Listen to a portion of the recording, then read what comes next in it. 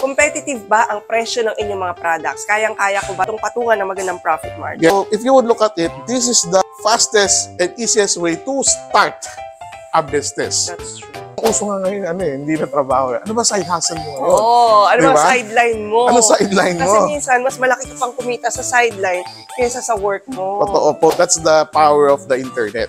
So, ibig sabihin, nasa Japan ka, nasa US ka, nasa Middle East ka, nasa Canada ka, you can do business in the Philippines. Oo.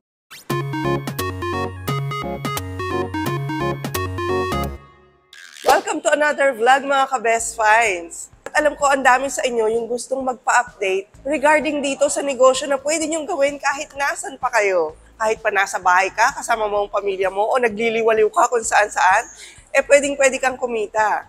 Kaya yan ang pag-uusapan natin ngayon sa vlog na to. Dahil ang dami nang sumubok at ang dami pang gustong gumawa nito mga ka-best finds. Kaya naman bibisitahin uli natin ang isa sa pinakamalaking dropshipping company dito sa Pilipinas, ang Bilis Benta. At sa mga hindi pa nakakapanood ng video natin regarding dropshipping, tuturuan namin kayo kung paano nga ba ito ginagawa at paano nga ba kumikita ng malaki dito sa gantong klaseng business. At balita ko ha, hindi lang ngayon sa Shopee at Lazada sila meron, kundi meron na rin sila sa TikTok. Eh alam niyo naman na trending na trending ang mga TikTok shops ngayon. So, samahan niyo ako sa buong vlog na to dahil lang iistorbohin natin mga ka-best finds ha, ang mismong CEO ng Bilis Benta. Hi, sir! Hi, best Yeah. find! Ayan mga ka-best finds, si Sir Chester, ang mismong CEO nitong malaking dropshipping dito sa Pilipinas, ang Bilis Benta. Yes. Oh, at marami na nga ang kumikita dito at marami pa kayong pwedeng kumita sa ganitong klaseng dropshipping business na pwede niyong gawin kahit nga nasan kayo, di ba, sir? Tama. Kinasa ka sa bahay, sa ibang bansa. Basta may internet, Yes. pwede ka na magsimula at kumita ng pera. Yes, at yan ang i-explain sa atin lahat ngayon ni Sir Chester kasama na ng mga challenges. Paano ba to simulan? Ano ba ang dapat mong gawin kung sakasakaling nasa probinsya ka man, nasa abroad ka? Bibisitahin din pala natin yung buong bodega ng Bilis Benta para makita nyo more or less pa- paano nga ba gumagalaw ang gandong klaseng negosyo. Yes, so makita nila, ano, no, what you see is what you get. di ba? Yes. na legit na legit, di ba? Iwas ka. Balita ko, si pakarami nang nagda-dropshipping ngayon at lahat sila halos ay kumikita ng maganda. So paano nga ba nangyayari to? So, sa negosyong dropshipping, ang pinaka-importante is the produkto. So, syempre, ang dropshipping company ang nagha-handle, nangangapital, kumakausap sa lahat ng mga supplier para magkaroon ng produkto para may maibenta. Kagaya nito, aling pang China yan, kakarating lang yan. So, this is ano, hotel quality bedsheet yan na puti. So, malakas yan. Lalo Oo. ngayon, daming Airbnb, ang daming Yes. resort na nagbukasan na, balik sa Oo. normal na, sabik na sabik ang tao mag-travel. Kami kami dropshipper, ah ito yung winning item nila. At ang kagandahan dyan is hindi nila binili po yan. Pag naging dropshipper po kayo, or tawagin na lang natin para mas maintindihan nila, reseller. Oo. Ah, so hindi kayo bibili ng produkto. Oo. Gagawin lang nyo is ibebenta nyo, kakausapin nyo yung customer. Yun po ang setup ng dropshipping ng bilis benta. Walang puhunan sa produkto. Correct. In short, mga ka-best finds, wala kayong nilabas na kapital para sa, Sa inyong inventory. mga items. Ah. Yes. Pwede kayong magbenta up to unlimited. no? Unlimited. So, unlimited ang catalog. yeah. Wala kayong storage. Hindi rin kayo gagastos ng mga packaging materials. Sila ng lahat. Yes. So, ang puhunan na nilagay mo sa business mo is the subscription fee. Mm-mm. Eh, marami nagtatanong. Gusto ko sagutin to. Sa Okay. pagkakataon na, bakit may subscription fee? Oo. Eh, kasi ang, ang dropshipping company is may mga empleyado at may bodega po kami. Ang bayad po natin sa mga ating empleyado is uh, everyday po yan. Ang upa naman is monthly. Oo. So, ang concept po ng dropshipping ng bilis benta is shared inventory at saka shared resources. Yes. A very minimal uh, capital mo sa subscription mo para ma-avail mo yung service at ma-avail mo yung mga item na maibebenta mo. I think it's fair enough okay, na merong subscription fee para mabuhay yung dropshipping company para ma-serve yung services namin at maibenta yung mga produkto. Okay. Now, ang question na lang is, magaling ka ba magbenta? Paano mo didiskartehan ng pagbebenta? Kung magaling ka magbenta, one to sawa yan. Pwede kang, pwede kang magbenta ng worth 300, 500,000 a day. Ang bayad mo lang is yung subscription fee. Correct. Oo, eh, And magkano as ng per one subscription of your fee? dropshippers na na-interview natin before, siya kumikita siya ng More than 500,000 a month, mga ka-best finds ha. Hindi nga sana ako maniniwala eh, kundi ko talaga siya nakita ng personal. Yeah. At nag-testimony talaga Yes, regarding oo. dito sa dropshipping. Yeah, yung pangalan niya si Miss Catherine. Okay? Yes. Si Catherine is ah, siya ang top seller ng buong Lazada when it comes to beddings and bath. Buong Lazada po yan ng Pilipinas. Oo. Ha? So it means tinalo po niya sa benta ang ah, mananahe, ang importer, ang mga China seller at mga binondo Chinese seller na yan na talagang grabing magbenta. Tinalo po ni Katrina and good news doon, two years na po siya top, Top one. seller. Top seller siya. Wow. Dalawang taon Sobrang na siya. yaman na, pala noon. Kailangan Okay. makontak natin yan.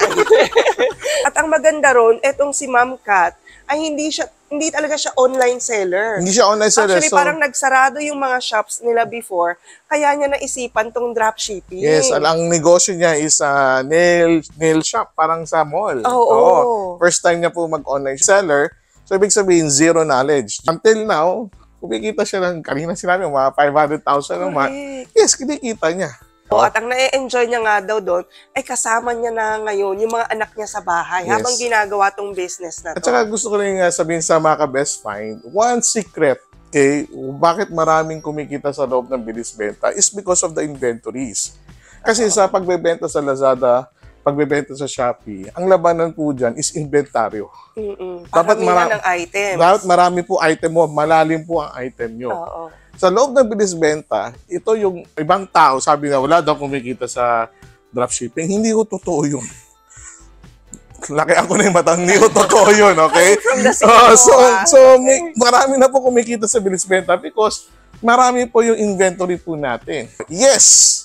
Minsan nauubos. Bakit? Kasi magaling sila magbenta pero nare-replenish naman po yun at, at a time. Pagdating sa supply chain po kasi is uh, maski hindi ka dropshipper, meron ka sariling tindahan, ang real talk po is darating time na maubusan ka rin. Dahil, kaya example, umorder sa isang customer, tatlong customer, ngayon ang umu-order sa isang tindahan is hindi na isa, dalawa, isang daan, libo na Yes, umu-order.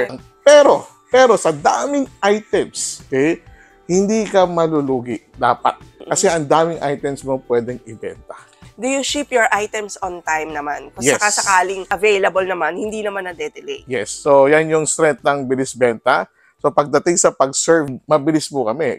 Kasi pumapasok pa kami maski holiday, maski Oo. linggo. Pumapasok po kami. ngayon, mga ka-best find, Oo. nandito sila. Minsan, bu- minsan, pag malaki talagang order namin, spike of orders, Sunday, pumapasok ang mga fulfillment staff po Talaga? namin just to fulfill the orders. Eto sir ha, napakarami na namang items na bagong dating, no? Yes, bagong dating So, eto to. lahat direct import. So, karamihan dyan, ah, galing sa import kasi kailangan po maging competitive ang price. Mm-mm. So, that's why ang mga supplier po natin is galing talagang factories eh, para makalaban ng mga dropshipper po natin. So, hindi mo na kailangan mag-import. Yes, so ayan mga ka-best finds ha, sa direct importer talaga kayo nakasandal, kumbaga, di ba? Oo. Oo. Pwede ka naman mag-import, ikaw mag-risk, di ba? Dito sa bilis benta, importer price, di ba? Oo, sila na yung Oo. nag import ng ganito karami. At O, yun ang ilalagay, oo, at yun ang ilalagay na sa catalog na mapipili Yes, nyo. ah. Kaya sila yung bibili ng item sa Divisoria, tapos sila yung magbabalot at mag-ship ng Lazada or Shopee. Yes. Sobrang hassle. Yes. Pero dito, sa dropshipping company, mga ka-best finds,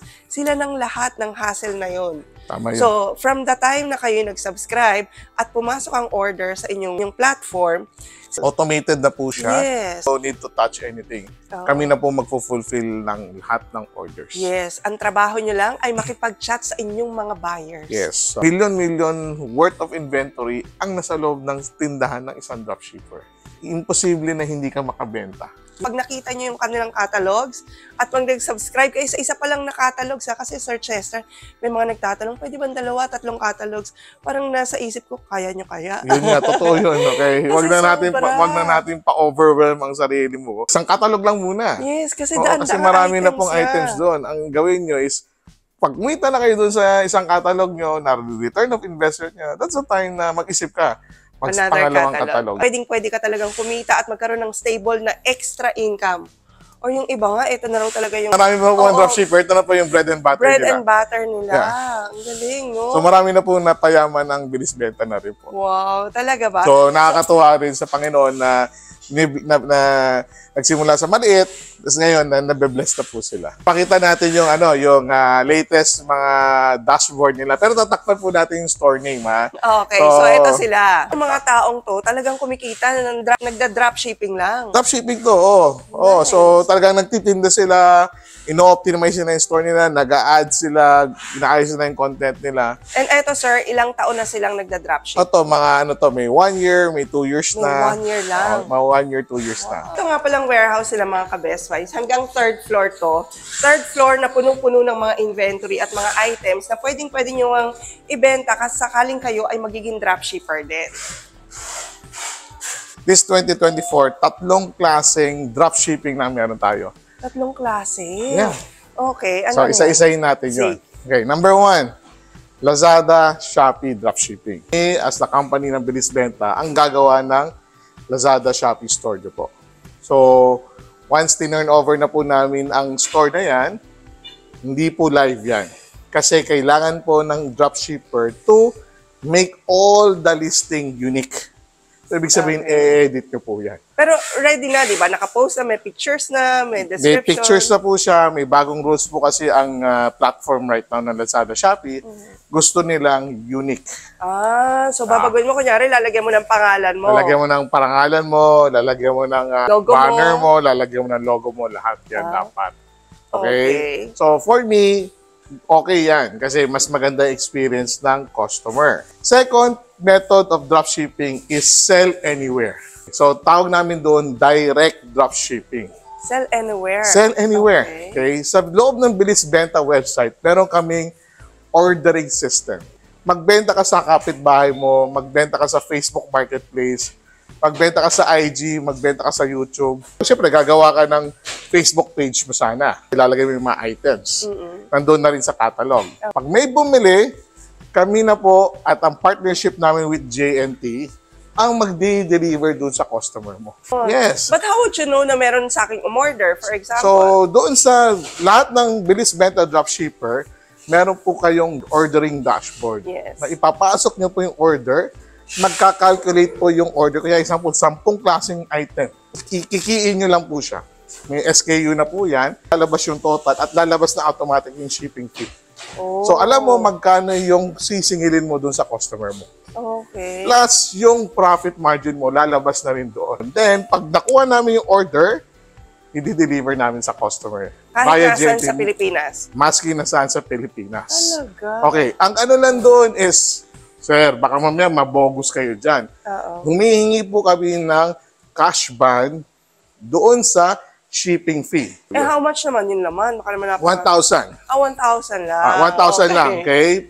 Kasi baka mamaya mag-joy, joy buying. Joy buyer. Oo. Joy buy, ibig sabihin joy buyer, wala lang, order lang, pero pagdating, hindi babayaran. Yes. So, sasagutin ng dropshipper yung shipping fee pag joy buyer yan. Mhm. Protection yan sa dropshipping company. Baka kami naman ang tumumba at malugi pag napakaraming joy buyer. Yes. Meron kaming wallet doon sa ordering dashboard namin. So, pag may 1,000 yan, mapoproceed yung order.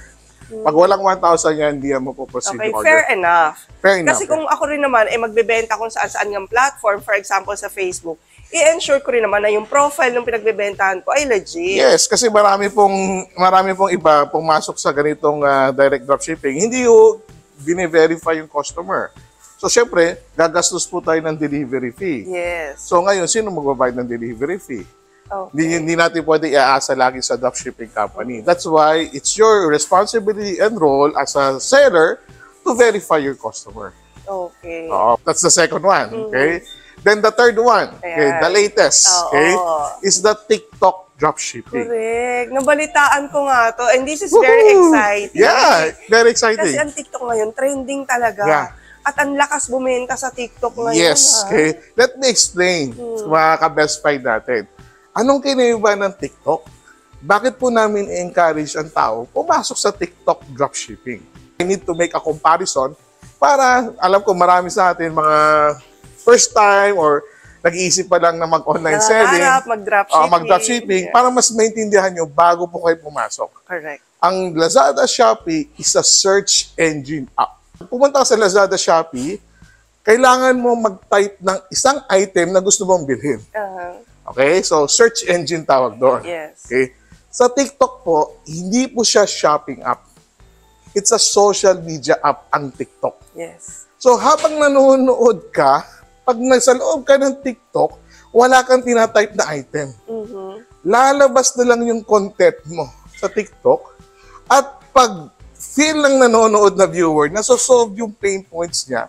Example, baradong lababo. Tapos may paninda tayong pangtanggal ng barado. Eh, ginanda mo ng content. Oo. Ay, mga beshi, tatanggal ng Yes. barado. Ganun. Tapos, eh, tama-tama, barado yung ano niya, yung lababo niya o yung CR niya. Mapapaisip yun, di ba? Yes. Kailangan ko na kagad yun. So, mapapa-yellow basket yan at mapapabili. Second is the live selling. Okay, bakit po mabenta ang live selling? Ay, grabe. Ako rin na, nabubudol ako lagi dyan Oh, sa bakit live po selling. mabenta? Okay? Number one is, di ba, pag nagla-live selling, sasabihin ng customer, pa-flex po yung basket Yes. number three. Oo. So, lalabas ng live seller yung number three. What you see is what you get. Correct. So, sa, sa, sa buhay kasi natin ngayon, is gusto natin sigurado yung binibili natin. Papakita sa'yo. Oo. Actual po to.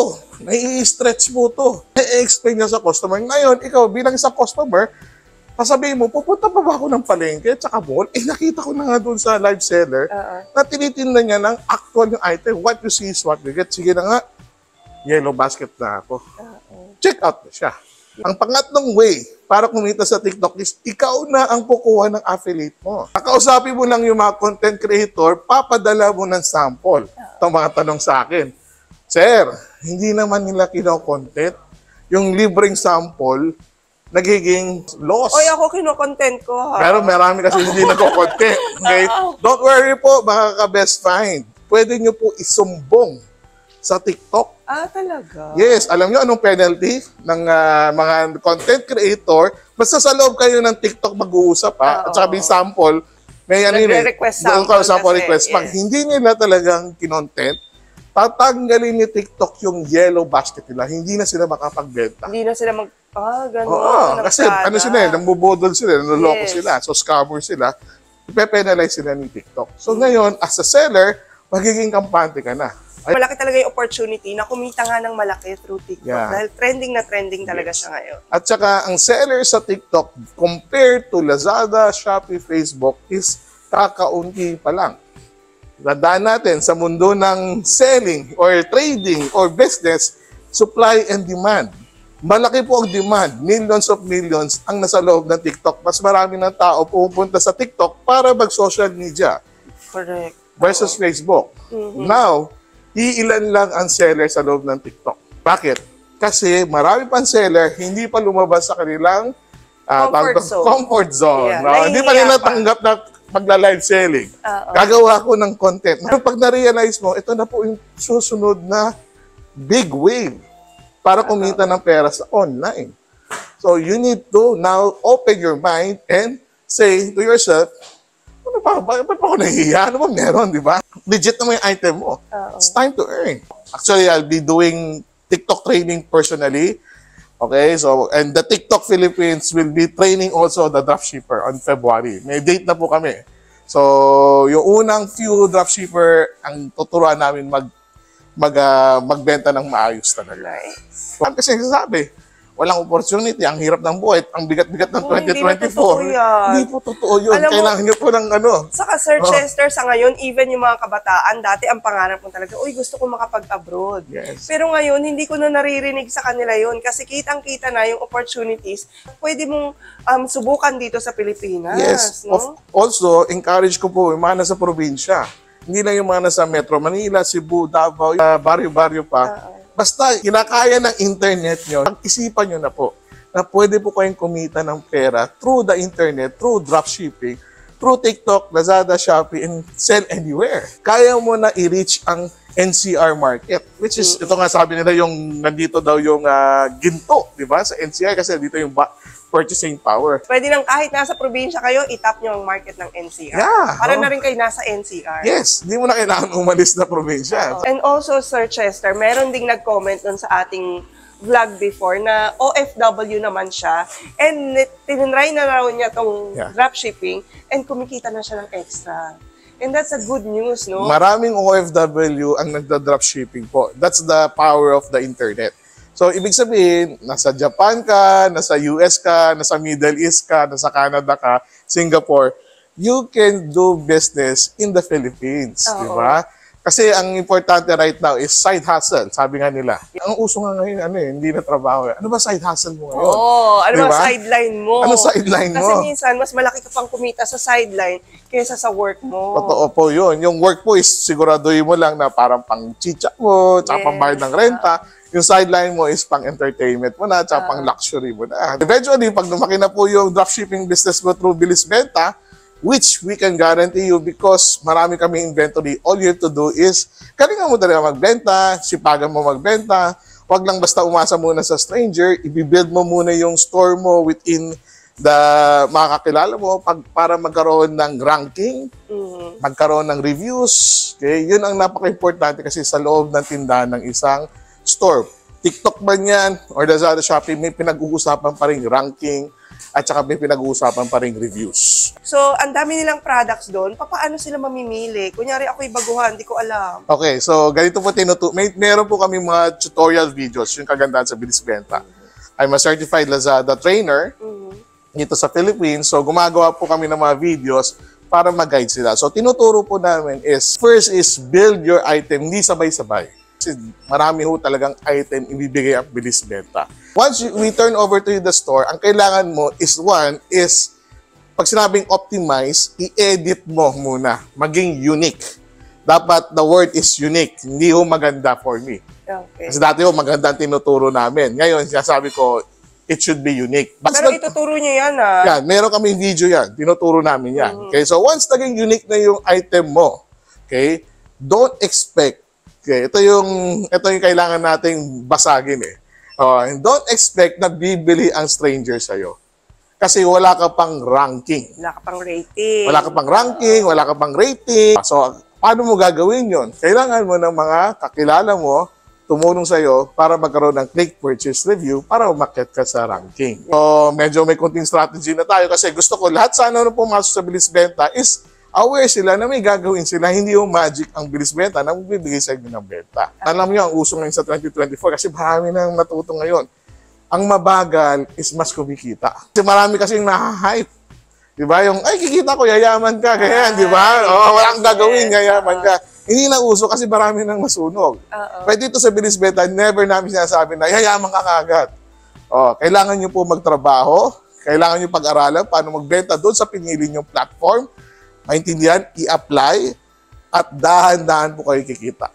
Ganun po kasi ang nakita namin doon sa mga kumikita na sa loob ng Bilis Beta. Kaya Hindi po sila instant millionaire po dito. Okay. Ah. And advantage din yun kasi magiging stable talaga yung income mo. Yes. Once na naging solid yung iyong knowledge, di ba? Dahil tuturuan naman kayo, i-coach kayo ng bilis benta. And given this inventory, hindi talaga kayo mauubusan dahil eto na nga, direct importer na yung source nyo. Sila nang bahala sa inventory nyo, sa packing, sa pagpapadala, pagpapadeliver sa inyong mga buyers. Yes. Ang isa pa tatanungin ng mga best find, gaano ba katagal ang ROI? Diba? So usually when you do business, okay, it takes years to do ROI. So ako, pag tinanong ako, sinasabi ko sa'yo, at least minimum one year.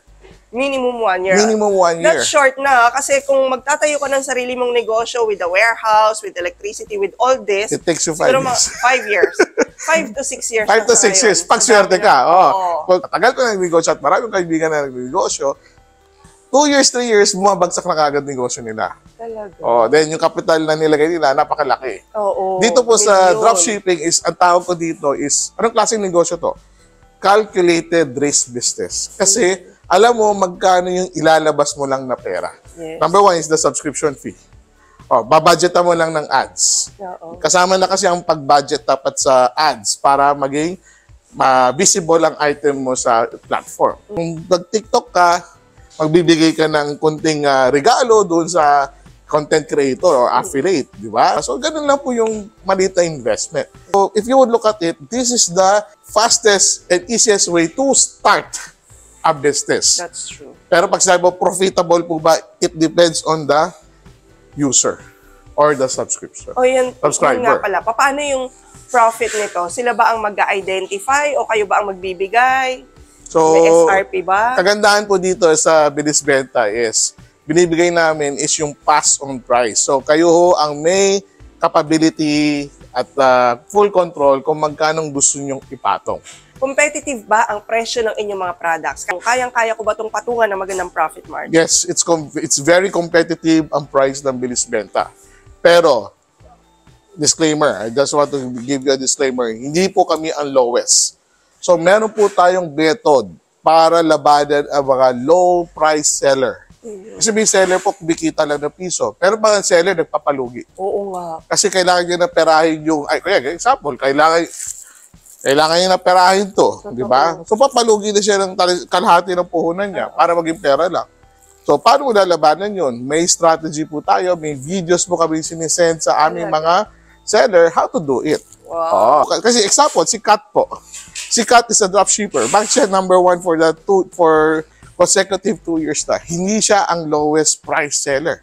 Mataas po ang price ni Kat. Oo nga daw, Oh, sabi yun na lang niya. pinakamagandang uh, example. At aming ibang maming mga dropshipper, matataas ang price nila. Pero bakit maraming orders mapasok dito sa fulfillment center namin? It's because of the strategy.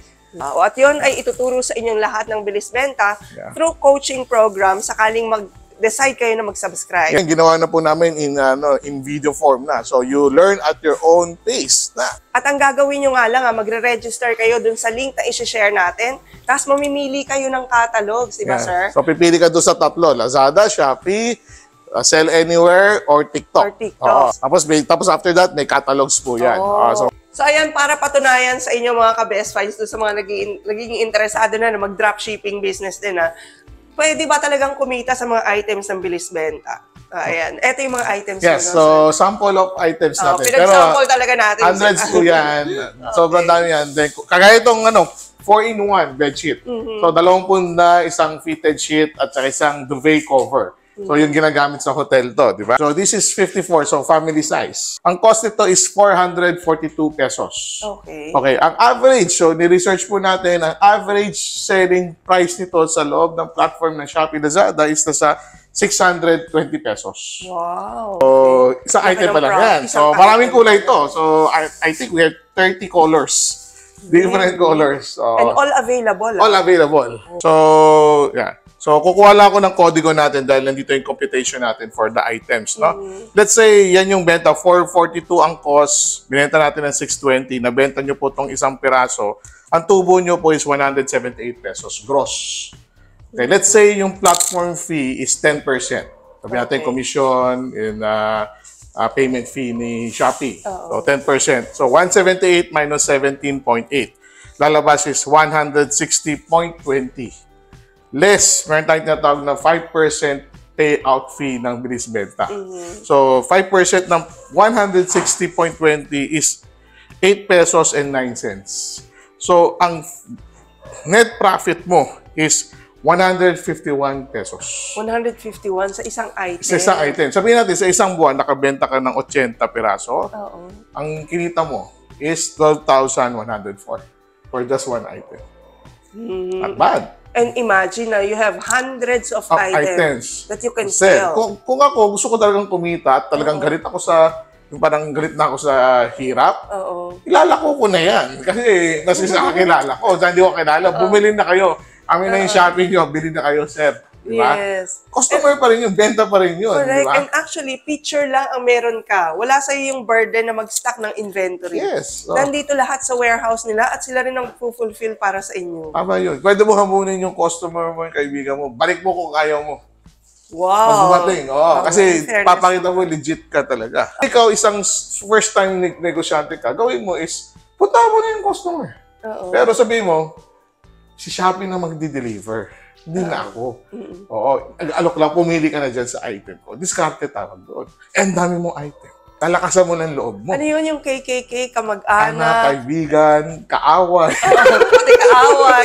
Pwede mo ng- lang alokin. Ah, alokin mo, di ba? Oo. Kung talagang nangangarap kayo mga ka-best friends, gusto ko magka-business, gusto ko magka-business, eh seryosohin nyo. Yes. Diskarte ka, Diba? gagawa ka ng paraan na hindi ka komportable. Yes. Going out of your comfort zone is one way to really make money and to be successful and to be profitable, Agree. To be rich. to be rich.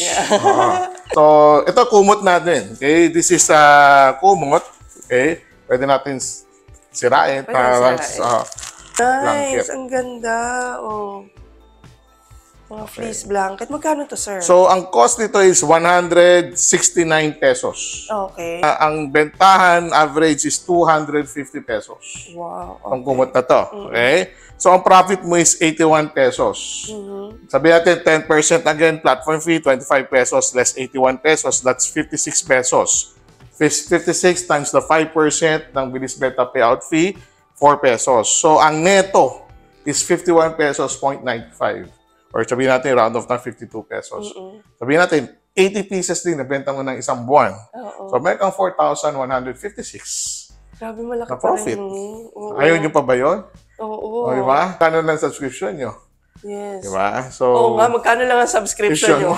Tapos kumikita ka ng 4,000 plus sa isang item pa lang. yes. So, so, ikaw na yun. Kasi may item ka ng paninda eh. Oo. So, paano mo na i-discard eh? At ang pinag-uusapan natin, minimum pa lang. Minimum pa Kasi lang. yung iba, um, as per experience daw nila, kumikita sila 100 orders a day. Yes. Tapos Yes. iba pa yung pag kunyari nagsisale, nag, um, kunyari 1-1, di ba? 11, 11, Oo, 12, 12, yan. Grabe daw talaga. Another blanket? What What's this? Tuwalya naman. Yung towel. Oh, towel, oh. Yeah. So, towel, ang presyo nito is, uh, cost price is 78 pesos. Oh, so, average selling price is 175 pesos. So, 97 pesos ang gross profit less the platform fee na 1750. So, uh, lalabas 79.50 less 5%, 4.85. So, 74 pesos times 80 pieces, that's 5,972. Pag 80 pieces, ang nabenta mo nito Sa isang buwan. sa isang buwan. Sabi Okay. Sabi, isang araw, whatever. Oo. So, kasi ang kita mo per piece is 74 pesos. Ah, Okay, na malinis. bad, oo. Ah, pag binenta mo ng 175. Hindi lang to sample ha, kasi magaganda baka Yes. sample mo lang sa amin. Eh. Hindi ho, ito, ito na yung actual item. Kung, kung, kung na-orderan kayo, ito na po Oo, yan. yun talaga. Oh, oh, bedsheet to, okay? So, 3-in-1, okay? 3-in-1 bedsheet to. Okay, hindi na natin buksan. 219 pesos. Okay. Bentahan is 550. Canadian cotton kasi to. So, 331 ang profit. Less mo ng 10% is uh, 55 pesos. 276 pesos ang uh, less 5%, 259 ang malinis mong kikitain dito pag nabenta mo ng 550 to. Galing. Oo. So, do you source out your your products sa ibang bansa na tinitingnan nyo, oy, ano bang uso ngayon? Ano bang Yes. trending? So, titingnan din namin yung dami ng search volume. Oo. Hinahanap ba ng customer to? Eh, bagay ba to sa store nila? So, yun yung mga factors na kinoconsider namin. For us, that's the bonus when you join Bilis Benta. Meron po kaming way to help you how to be an effective seller. This is an interlocking chain. Pag nag-succeed kayo mga dropshipper, syempre successful din sila. Kasi minsan ang iniisip ng iba, ah, bilis benta lang ang yayaman dyan. No, ito po ay isang opportunity para din tayo na konti lang yung puhunan, eh makapag-start talaga ng business. Totoo po yun. Makikita nyo sa aming fulfillment center, all orders are being quality checked physically. Sabihin, chine-check yung order online versus the physical products. So, bago nilang ibibigay sa packer para i-pack yung orders. May quality assurance tayo pagdating sa mga orders ng customers natin. Eh, paano naman kunyari si customer magka-ask ng refund, uy, mali yung pinadala nyo kahit sinabi mong chinek na niya. So naman yung pag bumibili kayo sa online selling, no video, no refund, di ba? So may, may video po tayo dito para makita kung tama po ba yung order na pinadala natin. Kasi sa Yan. totoo rin po, nakakalungkot, marami rin po talagang i-scam na customer. Oo. So, that's why meron po tayong video, yan, ganyan, na tong video na to, to have our also as a business to protect our business. Hindi ko kasi gano'ng kadali magnegosyo sa dami ng kalaban, tsaka sa taas ng mga cost right now, ng mga pa- papasweldo, mga equipment, technology, mga, mga ginagamit natin is uh, hindi na ho biro. That's why sabi ko lagi, this is the fastest way and easiest way and the cheapest way to start your own Bus- business. your own business. That's true. Oo. Kasi wala ka talagang kailangang ilabas maliban dun sa subscription nga na very minimal lang and very calculated mo na. Yeah. Since online business tong pinag-uusapan natin, lahat nasa computer lang, lahat nasa internet, hindi ba sila prone to hacking? Pwede bang ma-hack yung kanilang store? Number one, yes and no. Ang answer dyan. So, yes, pag sinare mo yung password, iniwan mo yung cellphone mo doon sa kaibigan mo, nag, nag-OTP, may sumagot na from Bilis Benta. So, pwede mahack kasi vulnerable ka. Ikaw mismo ang nagbigay doon sa... Hindi, Kung sino man. Kung sino man, di ba? Be careful also kasi account mo yan. Second is, uh, we have security measure pagdating sa aming office uh, at saka sa aming operations. Pero syempre, pag nilabas namin yung information sa'yo at saka yung OTP, kasi nagagaling OTP sa amin eh, lalo sa Shopee. Maganda rin security level ng Shopee.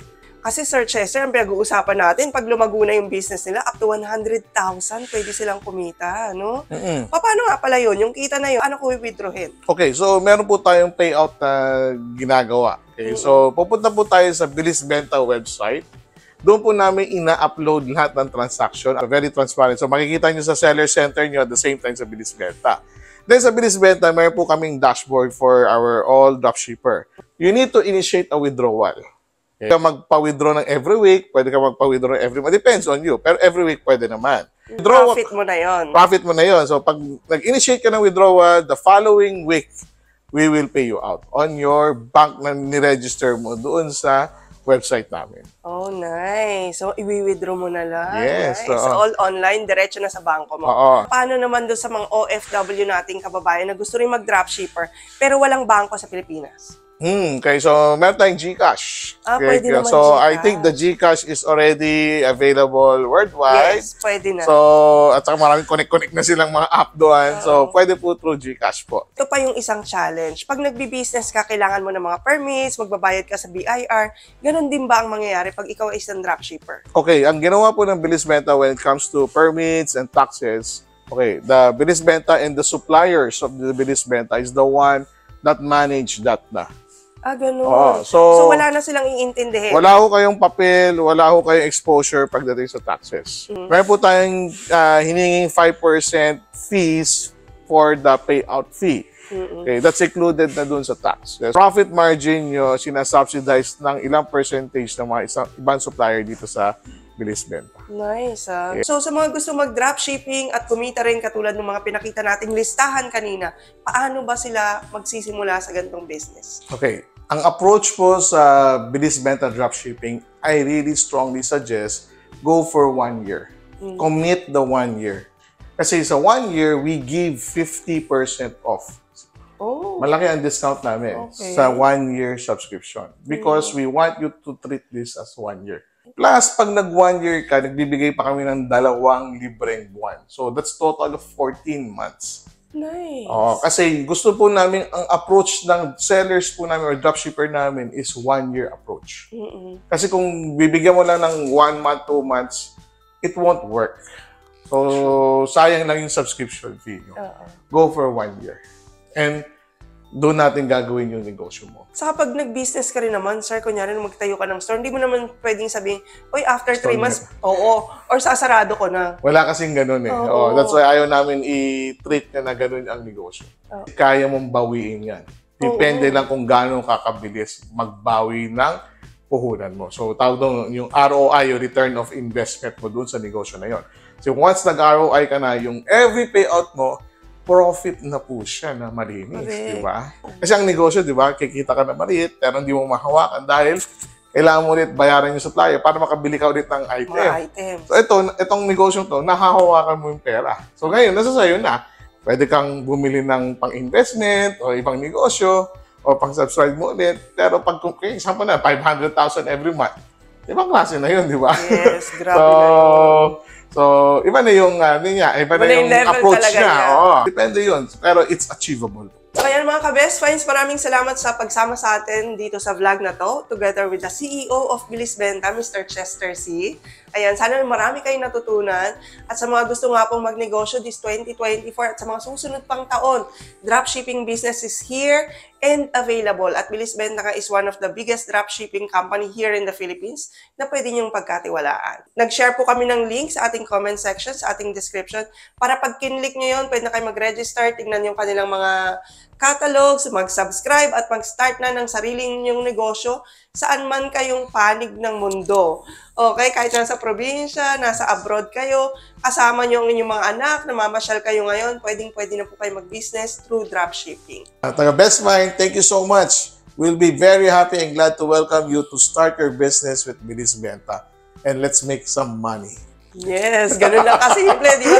Let's make some money for you and your family. Yeah. Okay.